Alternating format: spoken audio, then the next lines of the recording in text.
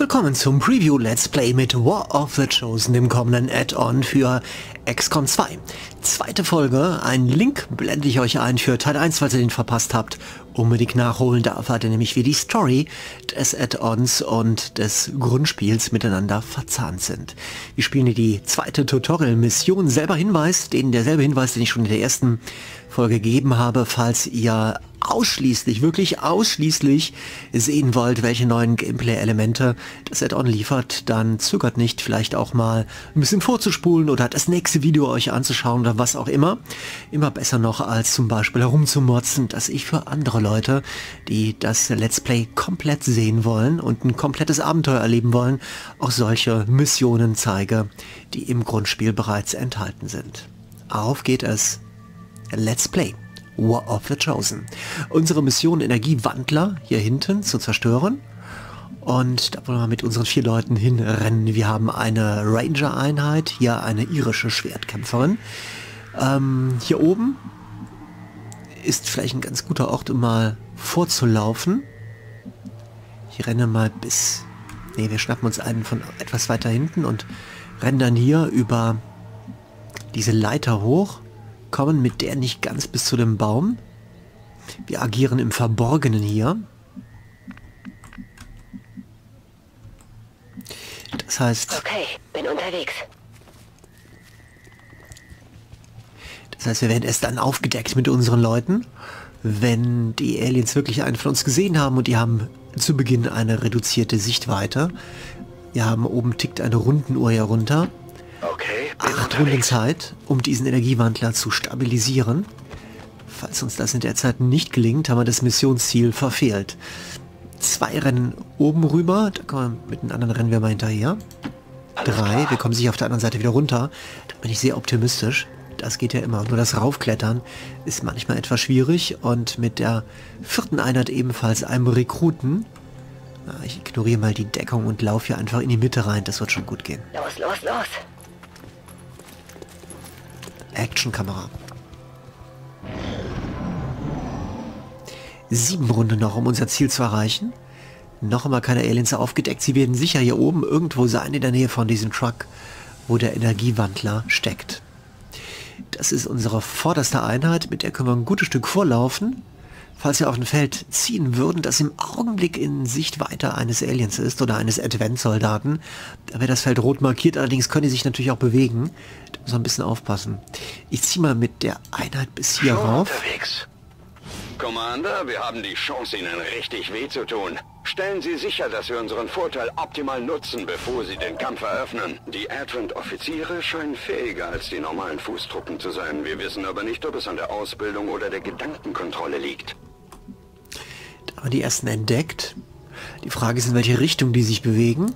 Wir bleiben mal hier am Rand der Karte, damit wir nicht noch mehr Trupps, hier ist der Kartenrand, noch mehr Trupps aufdecken.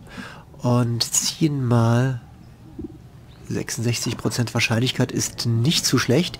Ziehen wir mit den anderen Einheiten ebenfalls vor. Mal schauen, wie weit Charlie kommt.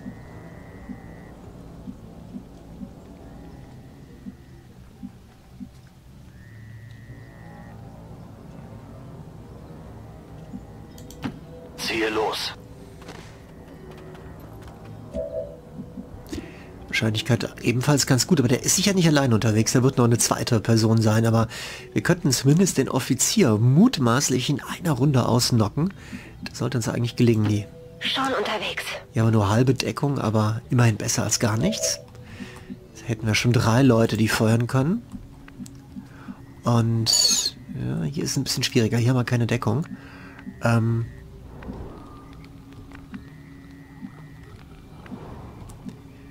vielleicht ein bisschen weiter oben. Oder verzichten einmal, einmal auf Deckung. Oder rennen auf ein Feld mit voller Deckung hier vorne hin. Verstanden.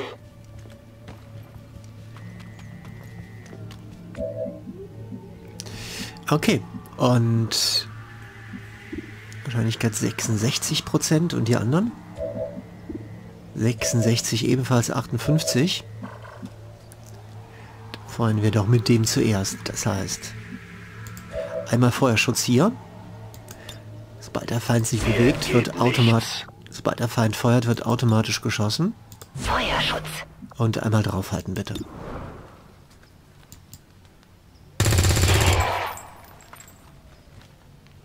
Dahinter ist ein zweites, ein zweiter sehen uns.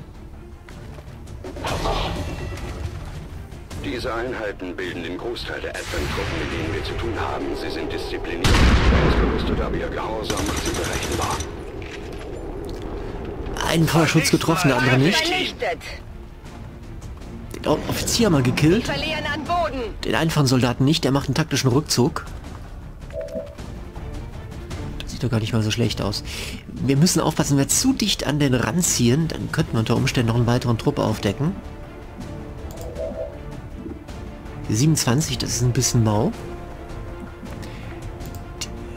Hier steht am weitesten vorne.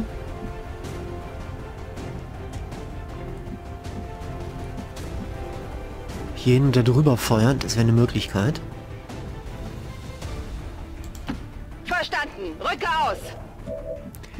Wahrscheinlichkeit 42. Ja, da kann man mit arbeiten.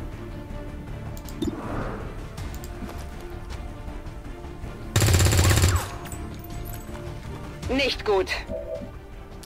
Das hat nicht gereicht. Ranger verfügen über einzigartige Ausrüstung für den Nahkampf. In der richtigen Situation können sie extrem effektiv sein. Das könnten wir machen, werden aber eventuell auch auf, würden dann aber eventuell jemand aufdecken. Das mache ich erstmal nicht. Ich versuche erstmal, ob ich mit den anderen und mit normalem Feuer das hinbekomme.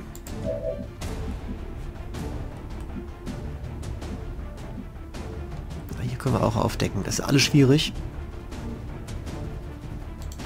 Verstanden. Bin unterwegs. Ziel in Reichweite. Okay, Sie sollten die Sicherheitsprotokolle dieses Dings hacken können, um es zu stabilisieren. Shan lädt gerade den Code hoch. Das wird nicht klappen. Noch schlechtere Reichweite. Dann gehen wir da mal in Feuerschutz. Bestätigt. Überwachung läuft. Halbe Ziel Deckung los. hier. Wahrscheinlichkeit 30%, Feuerschutz. Scanne Gebiet. Und mit Erschwertkämpferin versuchen wir es mal.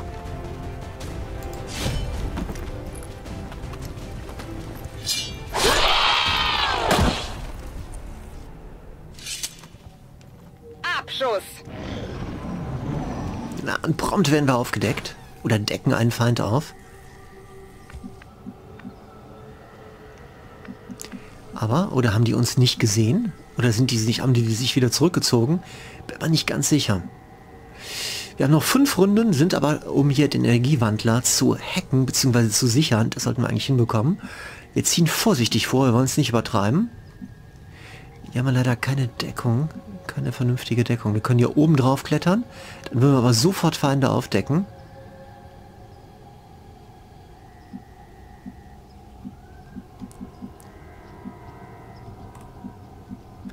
Bis hierhin.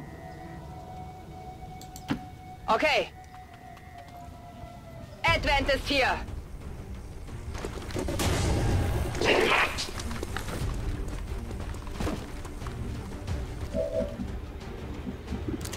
50, 30. Wir haben hier unsere Nahkämpferin direkt davor. Die wird, könnte also ja auch mit dem Schwert zuschlagen. Das ist ja schon mal ganz gut. Können wir einen flankieren? Den da hinten können wir flankieren. Das heißt, den können wir so erwischen, dass die Deckung nicht funktioniert. Nein, der Deckung nach vorne hin. Das wird nicht klappen. Der Deckung zur Seite, aber da kommen wir mit ein bisschen Glück kommen wir auch nicht hin. Das ist Sprintrad. Doch hier hin, aber dann hätten wir... Nee, das klappt auch nicht. Den können wir nicht flankieren.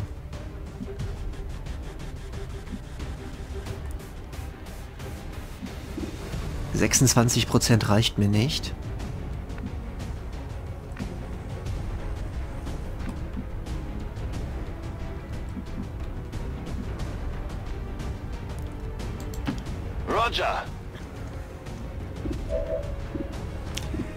32, 48, das ist auch mau.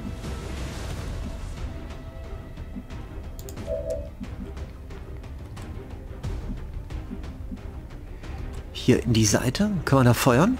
Unklar, da ist ein Baum davor. Halbe Deckung, halbe Deckung, volle. Mal schauen, ob das klappt. Ich rücke aus. Ja, 49 ist auch ein bisschen mau. Wir machen mal folgendes. Wir schnappen uns, ähm, wir haben ja auch Splittergranaten, die sollte man nicht so oft einsetzen, weil man sonst keine Ausrüstung einsammeln kann, aber im Prinzip geht das. Der hat eine 49er Trefferwahrscheinlichkeit.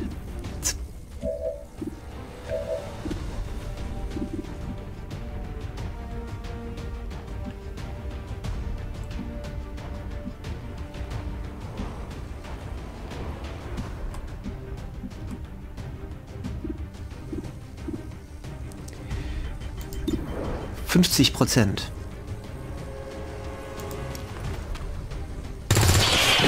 Ja. Der ist erledigt. Gelücktes Tüchtigen oder der Tüchtigen will ich mal hoffen. Dann versuchen wir folgendes. Dann schnappen wir uns unsere Schwertkämpferin. Und können auch können Schwertkampf machen. Wir können es aber auch direkt vor den hinstellen. Zum Beispiel hier nur mit der Schrotflinte aus kurzer Entfernung ballern. Ähm, die Schrotflinte bringt wie viel an Schaden? 4 bis 6. Und das Schwert? 3 bis 5. Dann versuchen wir es eher mit dem Schwert. Äh, eher mit der, mit der Schrotflinte. Laufen direkt daneben. Befehl bestätigt.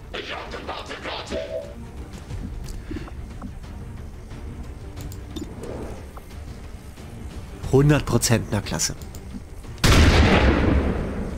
Ein Trefferpunkt bleibt übrig. Da müssen wir jetzt ganz auf Nummer sicher gehen.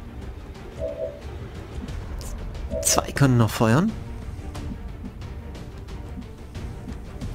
Laufen wir auch so dicht möglich dran, wie es geht. Nee, das ist nur noch... Ähm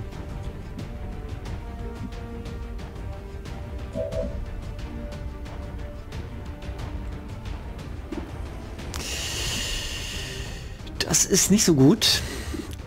Die können ja nicht mehr laufen. Die haben ja einen Aktionspunkt schon verbraucht. Kann gar nicht feuern. Ähm, die essen mit der Splittergranate und so vorsichtig werfen. Die trifft ja auf jeden Fall, dass die Kollegin daneben nichts, nichts abbekommt.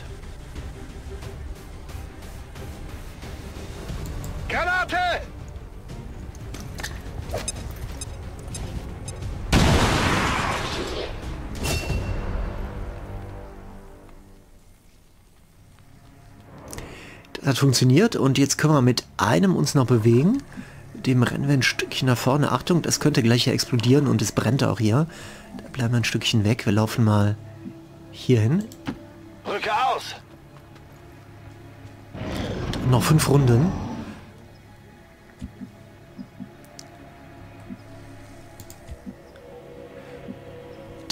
mit dem rennen wir können direkt davor rennen, weil wer weiß, könnte sein, dass wir noch, noch ein paar Aliens dabei auslösen.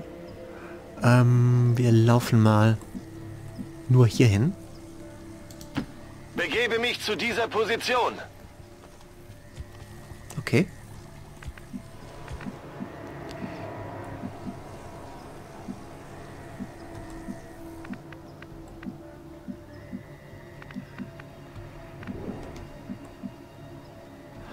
Einmal Sprint, also dass hier noch jemand steckt, halte ich für eher unwahrscheinlich, eher hinter dem LKW von uns aus gesehen. Erhöhte Position wäre eine Möglichkeit. Oder wir laufen einfach ähm, hier vorne hin.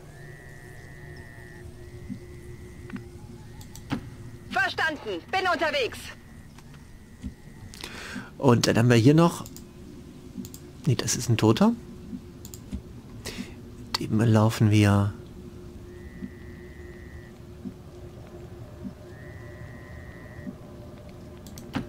Verstanden. Bewege mich zum Ziel. Hierhin und mit unserer Schwertkämpferin. Rücke zur Zielposition vor. Und dann heißt es Feuerschutz. Na los, zeigt Bei euch. allen. Munition ist noch genug da. Feuerschutz. Na los, zeigt euch. Commander, uns läuft die Zeit davon. Wenn wir den Wandler nicht bald stabilisieren, kehrt heute wohl niemand mehr zurück. Bradford macht Stress, aber ich persönlich finde nicht, dass wir hier so unter wahnsinnigem Stress sind. Ähm, dann nehmen wir uns, weil drei Runden haben wir ja noch. Wir können sogar mit der hinteren Einheit vorziehen. Nein, das klappt nicht ganz. Wir nehmen uns das ist die mit der Schrotflinte. Wir nehmen uns ähm, diese hier, ziehen direkt davor. Wechsle Position. Und können noch einmal hacken. Vielleicht finde ich was Interessantes.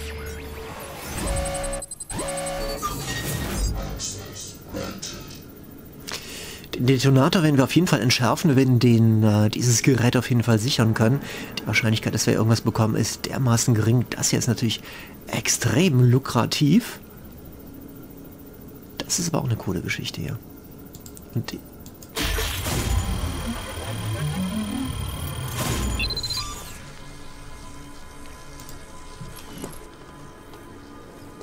Habe Zugriff. Wir haben Gut die gemacht. Ware. Die Werte normalisieren sich. Nun, zumindest fast. Firebrand ist auf dem Weg, aber gehen Sie kein Risiko ein. Schalten Sie vor der Evakuierung alle verbleibenden Feinde im Gebiet aus. Irgendwo da oben, da ist noch ein weiterer Feind. Wir haben, sind jetzt aber, haben jetzt aber keinen Zeitdruck mehr und wir haben den Energiekern. Den Energiewandler haben wir stabilisiert. Er sollte allerdings nicht kaputt gehen jetzt. Das heißt, wir ziehen vorsichtig vor. Hierhin beispielsweise. Besser wäre natürlich irgendwas mit Deckung. Und wir sollten einmal nachladen.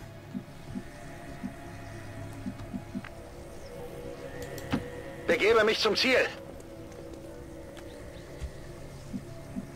Der muss nicht nachladen. Gebe Feuerschutz.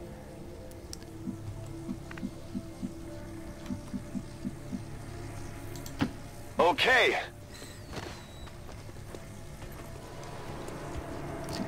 Und einmal Feuerschutz. Gebe Feuerschutz. Und unsere Nahkämpferin. Die postieren wir ein bisschen weiter vorne. Hier brennt es. Na, das sind... Nee, da kann eigentlich keine Explosion ausgelöst werden. Schon unterwegs.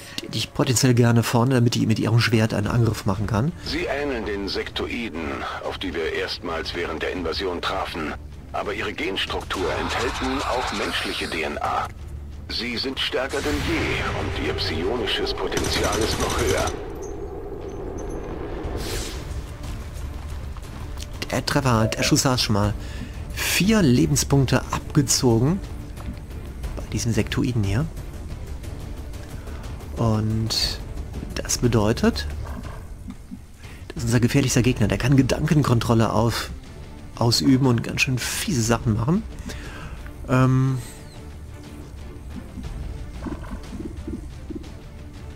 Wahrscheinlichkeit aber sehr gering. Schwertkampf nicht möglich. Wir könnten nachladen. Nein. Wir geben Feuerschutz. Oder wir ziehen ihn zurück. Zurückziehen ist aber Quatsch. Weil der Feind wird ja zum Teil gesehen. Wir wagen es mal mit dem Feuerschutz. Bestätigt. Überwachung läuft. Daneben. Bei dem Gewehr bei der Schrotflinte nicht unwahrscheinlich, dass ein Schuss daneben Muss geht. besser zielen.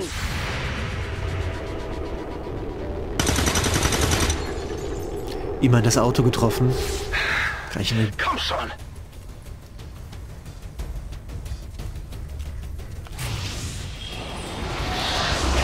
IC-Angriff auf unsere Leute. Und was für einer. Die Toten finden keine Ruhe. Die Aliens können sie per Gedankenkontrolle steuern.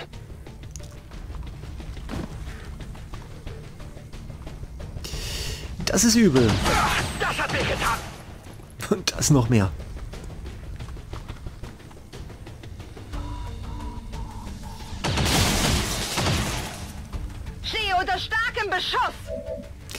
Das ist natürlich eine schlimme Geschichte hier rechts. Der bedroht uns hier von den Toten auferstanden. Das Monster jetzt hier. Gesteuert von unserem Alien-Widersacher. Aber ähm, der ist dann außer Gefecht, wenn wir es schaffen, seinen Steuerer, seinen Steuermann, den aus den rauszunehmen. Und er hat ja nur noch vier Trefferpunkte. Ähm, das ist gar nicht so unwahrscheinlich. Das heißt, wir schnappen uns zum Beispiel hier unsere Jane Kelly.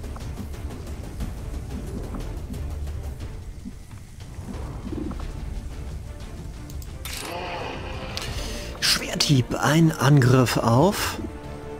Das ist er. Das ist der Sektoid, den wir aus dem Weg schaffen wollen. Mal gucken, ob das gut geht. Sollte eigentlich, hoffe ich mal. Das sollte ich mir aus der Nähe ansehen. Zweigeteilt, vermute ich mal. Aus einem zwei gemacht und es sind da noch zwei Tote. Abschuss. Dabei plündern wir noch jede Menge Zeugs. Sie steht ja direkt neben der Leiche, neben einem Illyriumkern mit wertvolle Rohstoffe. Ich hab hier was Nettes. Hier stirbt jetzt auch, wie prognostiziert, der lebende Leichnam, den der Sektoid kontrolliert hatte. Dann sind wir, haben wir hier noch einen und dann noch einen anderen Advent-Soldaten. Nur mal hoffen, dass wir die außer Gefecht nehmen, setzen können. Ziehen mal mit dem hier vor, weil die, die sollten auf jeden Fall jetzt draufgehen, weil sonst feuern die auf unsere Leute und das ist, ähm, das ist nicht so gut. Vielleicht gehen wir, der steht hier, Charlie steht ein bisschen weiter vorne. Mit ihm ziehe ich mal hier hin. Okay. Dann sollten wir beide angreifen können, genau. Ne, einen, den hier. 74 Prozent, das ist doch super. Ist ohne Deckung. Autsch. Kein Treffer. Das ist nicht so gut. Ähm, wer hatte noch Granaten? Der hat keine Granaten. Das heißt, Dennis schießt auf jeden Fall. Was anderes bleibt ihm nicht übrig. Ich ziehe mit ihm mal weit nach vorne. Dicht ist möglich an seinen Gegner ran. Ruhig ins offene Terrain. Gehen wir echt ins Risiko hier. Und feuern auf 57% auf den hier. Sehr schön. Das, das sollten die letzten Aliens sein hier. Das heißt, wenn wir ein bisschen Glück haben und den hier rechts killen, dann war's das. Man kann natürlich beim Glück auch, auch nachhelfen.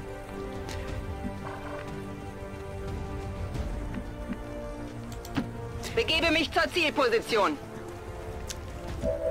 Denn unsere Kämpferin hat ja noch eine Granate und jetzt gehen wir ganz auf Nummer sicher und werfen noch einmal eine Splittergranate. Werfe Granate. Die bringt sicher drei Lebenspunkte Schaden. Menace 1-5, Status bestätigt, Mission erfüllt. Prima, sehr, sehr schön. Ein verwundeter Soldat, Ziel ansonsten erreicht, Wertung ausgezeichnet, damit sind wir zufrieden. Und jetzt, jetzt kommt ein neues Feature von War of the Chosen. Wir können ein Einsatzfoto machen und das sieht verdammt cool aus und kann verdammt viel Zeit kosten. Schaut euch das mal an. Das sind unsere vier Leute und wir können alles Mögliche mit ihnen machen. Wir können sie hin her schieben, wir können den Winkel verschieben, wir können auch den Ort verändern, wo sie ja gerade ähm, fotografiert werden auf der Karte. Links oben Kartenposition verändern. Hier haben sie zum Beispiel die Flammen im Hintergrund, allerdings auch jede Menge Rauch, der uns im Motiv stößt, stört. Hier stehen sie mitten in der Natur vor einem Felsen, auf einem Felsen. Hier mit schönem Blick auf den Einsatzort. Ein bisschen Natur im Hintergrund, die drei, wie drei Models nebeneinander gestellt. Das sieht doch schon mal ganz, ganz klasse aus. Die Formation können wir verändern. Im Augenblick standen sie eben Keil, Mob ist möglich, dann stehen alle beieinander. Das ist eigentlich auch ganz nett. Und äh, wir können auch nur zwei von denen uns beispielsweise nehmen oder nur eine oder einen. Das finde ich eigentlich ganz hübsch hier. Die Reihe. Dann können wir auch äh, den Hintergrund verändern. Schaut, ihr seht es ja selber. Wir können das Bild wegnehmen und stattdessen irgendwelche anderen Geschichten reinblenden.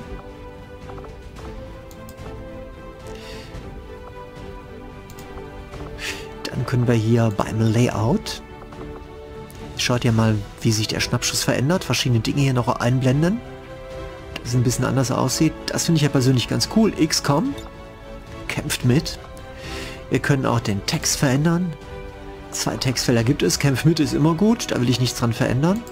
Und hier können wir einen zweiten Text reinsetzen. Zum Beispiel sowas wie... Ähm,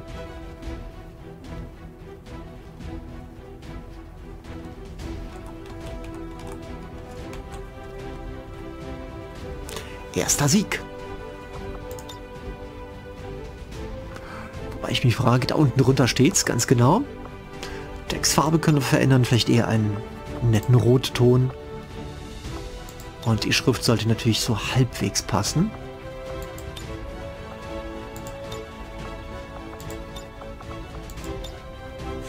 Das war sehr klein hier.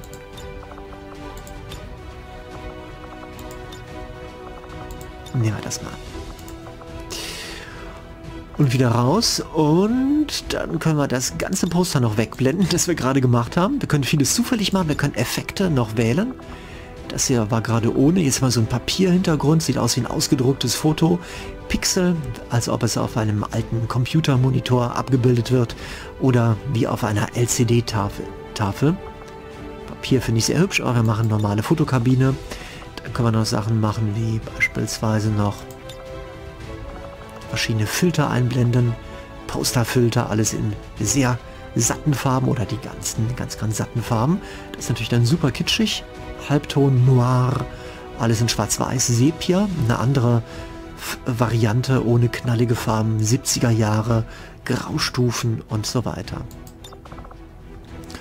Und ähm, ja, und da können wir noch viele andere Sachen machen. Wir können das Ganze auch drehen und wenden und den Himmel mehr in den Vordergrund nehmen oder den Blickwinkel verändern. Oder dies jetzt zum Beispiel machen. Und am Schluss, am Schluss wird fotografiert. Wir hätten übrigens die Posen auch noch verändern können, der Leute, bei Soldaten bearbeiten. Da können wir uns die Soldaten einzeln nehmen und können die verschiedenen Posen zuweisen. Und das können wir mit allen machen. Eine Fülle von verschiedenen Posen stehen zur Verfügung. Ja, kann man alles Mögliche ausprobieren. Und weiter.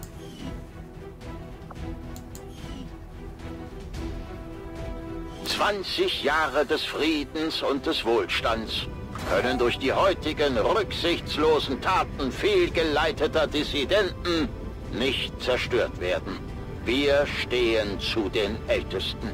Vertrauen wir ihrer Weisheit, dann wird die Krise enden.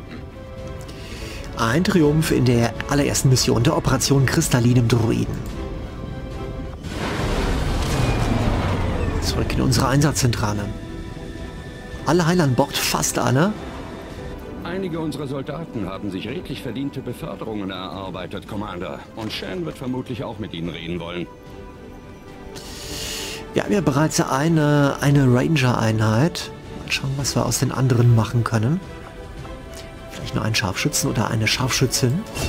Grenadiere sind unsere Sprengstoffexperten. Sie setzen schwere Sprengkörper ein, wann und wo immer wir sie brauchen. Das hat nicht geklappt. Das war jetzt eine... Das, sie ist jetzt zur Grenadierin zufällig befördert worden. Kann Granaten ganz weit werfen, hat auch eine spezielle Wumme.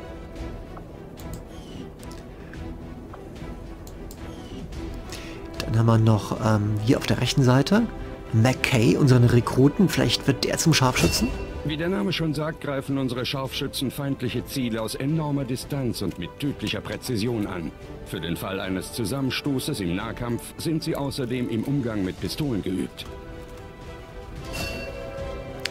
Prima, wunderbar. Und dann haben wir noch einen, der leider verwundet zurückgekommen ist, den Rekrut Volkov. Auch er ist allerdings beforderbar.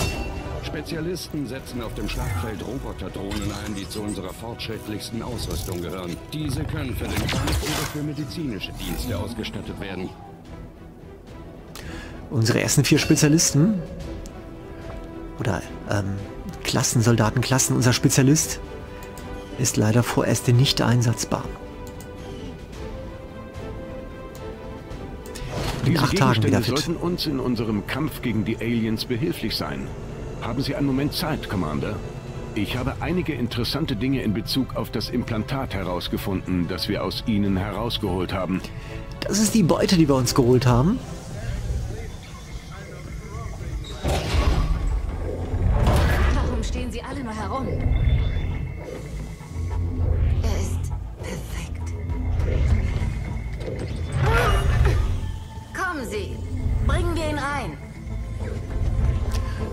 Chefingenieurin hat ein neues Spielzeug entdeckt.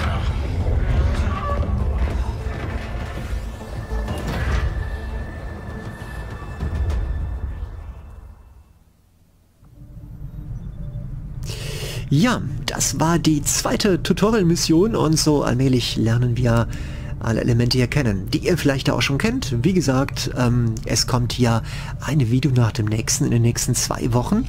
Bis zum Release. Ihr könnt jede Menge von War of the Chosen entdecken. Die ersten Features habt ihr schon gesehen. Durch die Story wurde das so ein bisschen eingeblendet. Gerade habe ich das gezeigt mit dem Bildschirmfoto machen. Und bald tauchen auch die ersten neuen Einheiten und Fraktionen auf. Die kommen relativ früh. Und da hier ein Video nach dem nächsten folgt in kurzem Takt, werdet ihr, werde ich euch auch nicht auf die Folter spannen.